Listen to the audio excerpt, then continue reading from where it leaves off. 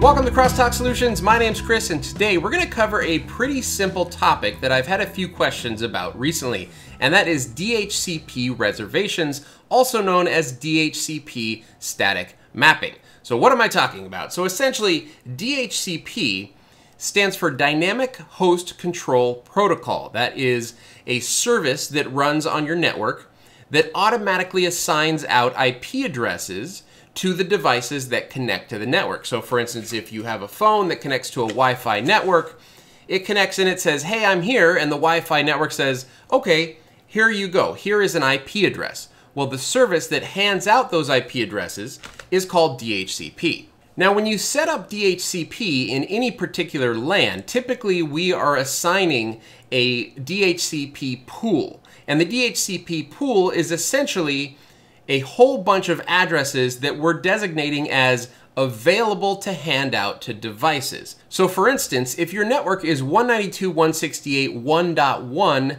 through 192.168.1.254, or kind of what's considered a standard class C or slash 24 subnet, oftentimes dot one is going to be your gateway. So that's the IP address of the VLAN or the router that is sort of at the head of that network and all traffic funnels through out to the other networks or out to the internet. Then you might have a static range. So a range that is basically set aside for you to manually hand out IP addresses to devices that might need them. So if you have a network switch or um, you know just any any sort of server that you want to make sure like this IP address never changes, you want to basically hand out a static IP address that is outside of a separate set of IP addresses that you're reserving to automatically hand out to devices via DHCP. That is your DHCP pool. So you might have 192.168.1.1 is your gateway,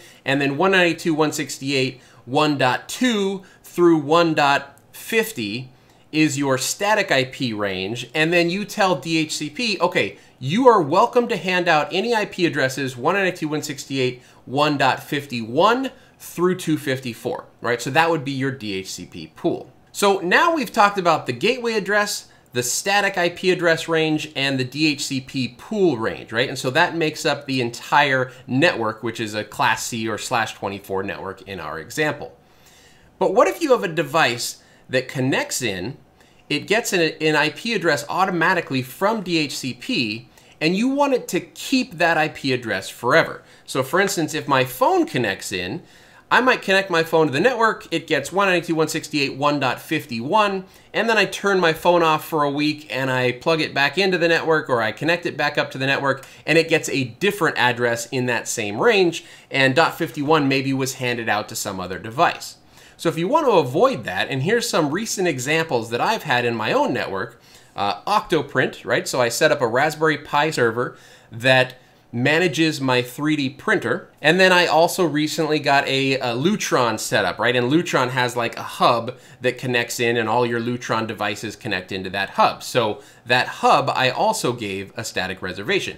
I plugged it into the network, it received an IP address, but I don't want that IP address to ever change because, you know, the app that connects to it needs to connect to that same IP address every time. So I set it as a static reservation or a DHCP reservation. Okay, so now we know what we're talking about. I'm going to show you two ways to do this. The first way we're going to show you is within UniFi, and the second way that we're going to show you is within EdgeOS, or if you have an Edge router. So here we are at the dashboard of UniFi. This is UniFi version, uh, or UDM Pro, and it's running version 1.12.15, which is the current version as of the recording of this video in April 2022. So the first thing I wanna do is come over to my client devices, and we can see that I've got a couple of devices that are connected to this test network, uh, including right here, this is my iPhone, right? So we're gonna click on my iPhone, and then we're gonna click on Settings, and then right here, we can say used fixed IP address. So we can see right now the IP address that this device received was 192.168.1.233. So let's say I just want to keep that same IP address every single time this phone connects into this network. We're going to turn on used fixed IP address. Then we want to select the network that we always want this device connected to. In this case, we're just going to leave it on the default network.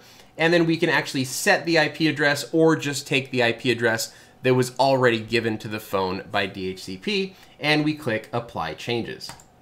So just that simple in UniFi, we're saying this device received 192.168.1.233. I always want it to have that same address. I don't want DHCP giving that address out to any other client.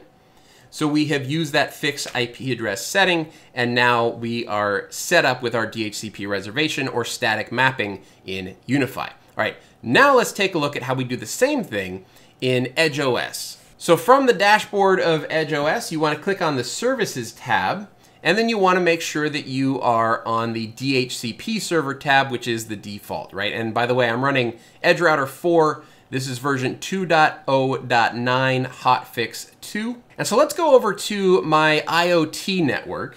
Uh, this is where I do, you know, more often we'll do static mappings because you have things like Lutron or Octoprint or Home Assistant or anything like that that you might want to have an IP address that never changes.